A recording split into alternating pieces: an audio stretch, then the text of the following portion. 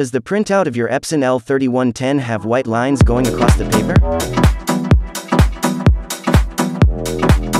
The first and easy solution you can try is to activate the Epson L3110 head cleaning application. Go to Windows Settings, then click on Devices.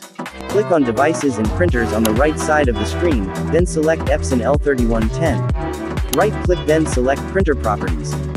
Then go to Preferences. In the Preferences menu, click on Maintenance, then click on Head Cleaning. Then click Start. This part would actually take around two and a half minutes. In the interest of time, we just sped up the video. To make sure the printer head was clean, you may want to do a test print. You can do this by clicking the Print Nozzle Check Pattern button. Then click Print.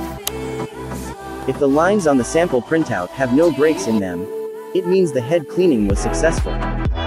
Otherwise, more cleaning is needed. You may call our technical help desk through 8896-7688, local 113, 114 or 116. They will assist you further. Here you can see that the sample printout has unbroken lines. The printer head cleaning was successful. Let's try printing that document again. No more lines across the text.